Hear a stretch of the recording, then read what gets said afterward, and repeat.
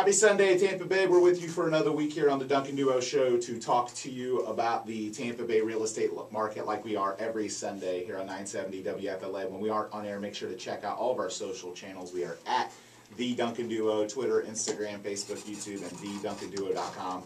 Joined by Jamey Moody, uh, who is running for circuit judge. Uh, he's going to talk a little bit about his candidacy today as well as uh, some different things uh, in real estate, in law, and, and in homeowners insurance. And we're joined by our regular guest expert uh, on homeowners insurance, Richard Vazquez with Artisan Insurance. And, and Richard, um, obviously, uh, we're in the rainy season. But that's also a sign that, that hurricane season is, is upon us, and, and it's always a time to give people advice for preparation for storms, but also to um, you know, to, to make sure that they have the proper insurance and everything set up on, on the right side of things for uh, any potential storms. Sure, that's right. Uh, don't forget that the busiest hurricane month out of the year in Florida is September.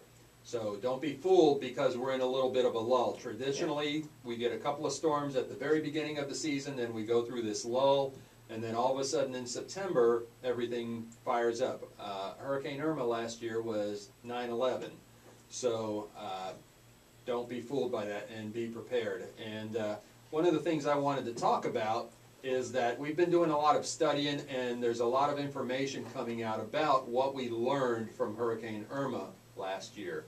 And it's kind of opened our eyes to a lot of things, and we're making sure that all of our customers are prepared and, and understand these things. Uh, things such as there was a lot of people last year who thought they had coverage when they got home after evacuating from Hurricane Irma And didn't. and didn't because th- their house was filled with water, uh, but there was no damage to their house. That's a thing. It's a flood, that's a flood policy. well, not necessarily. That's a thing that's called uh, wind-driven rain with ensuing damage. Wow. I know that's a mouthful, okay, and you're probably trying to wrap your head around that right now, going, "What is that?"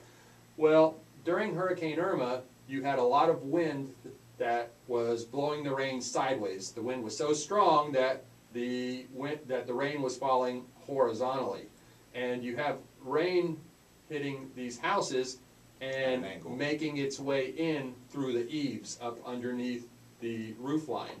And there's no damage, so the insurance company, some of the insurance companies, not all of them, some of the insurance companies are going out there going, there's no damage to this house.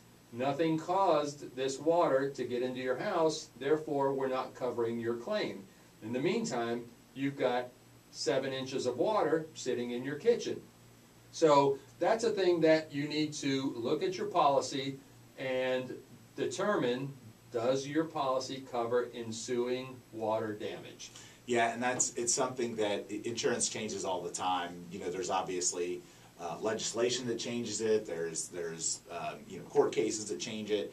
And, you know, in years past, you used to have, you know, you could, you could, you know, kind of get different endorsements and, and, and now some endorsements are included in your policy automatically, some of them you have to have as optional. There's even a push right now that some of the main homeowners insurance carriers are gonna start adding on flood insurance as a, as a, an endorsement onto the policy instead of a separate policy. So it's, it changes all the time, it's why you have to stay on top of it and, and, you know, make sure to talk to an insurance agent every year, making sure that you're properly covered. Could you imagine some of the people in Hurricane Katrina that maybe thought that they had coverage and, and didn't Mhm. when, when an insurance carrier made a policy change or, or, you know, the law changed something with insurance and then all of a sudden this storm hits and they didn't make that update phone call to their insurance agent that year and, and now they've got, you know, hundreds of thousands of dollars of damage to their house. Sure, absolutely. The expectation is if you have homeowner's insurance, my house is broke, you're gonna fix it.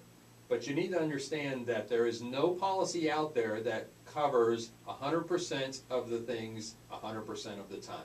Yeah. So, you need to make sure that you have the right policy to cover what is gonna happen most of the times here in Florida. And that's one of the things that we're learning about. There's another thing that we're learning about. If you have a big beautiful pool cage in your backyard, you may even have coverage for that pool cage.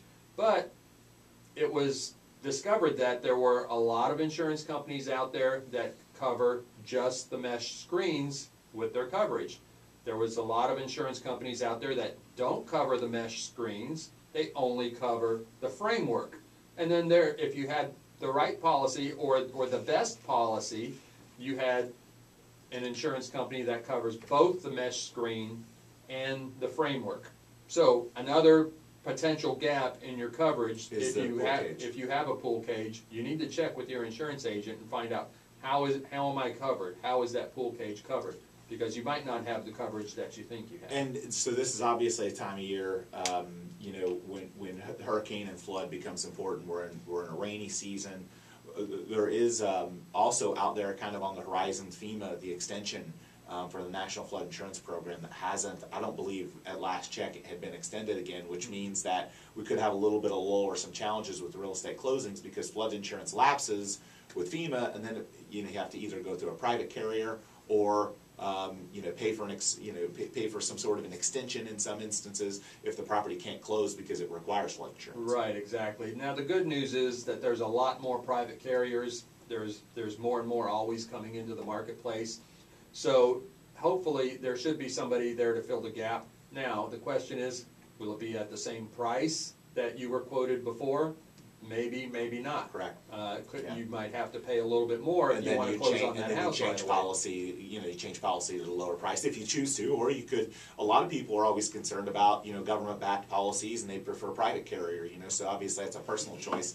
But, um, you know, but again, uh, at- at least compared to years past, there are, there are more options now uh, for, for some sort of, you know, opportunity still to close and not have the closing go awry because, you know, FEMA hasn't extended. But it, but I, you know, it seems like every year they kind of, they extend it and they Band-Aid it together and then Mhm. hopefully someday it'll, it'll all get, it'll all get revamped and, and improved, I so. wanted to chime in on that as Yeah. well, if you don't mind.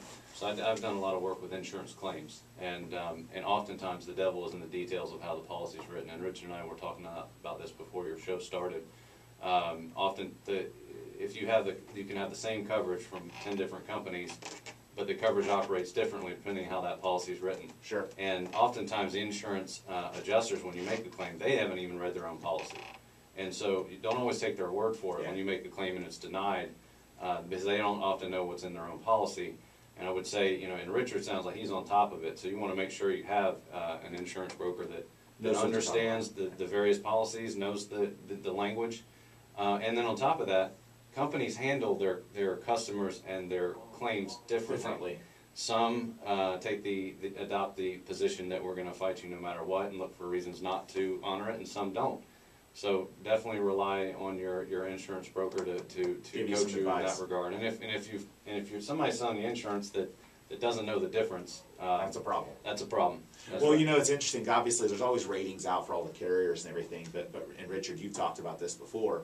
Um, you know, there, there are some companies that you could have the same exact policy at two different companies, but it's the execution of the policy, just like, you know, just like a law, for example, you know, in one part of town, the speed limit's fifty-five, and another part of town is fifty-five, but maybe that side of town is the sheriff's office and this side's city, and maybe they let you go five miles an hour over here, and they don't really pull you over for it, and then over here they do, so it's, it's all about the enforcement of it. You could have the same policy, it's just a matter of whether or not that company takes a stance towards, like you said, wanting to uh, honor a claim or wanting to fight a claim. That's right. I've gone to battle many times with insurance adjusters who, um, I've had to explain to them how their policy reads, and it, it amazes me, you know, uh, you, you have to cover this because of X, Y, and Z.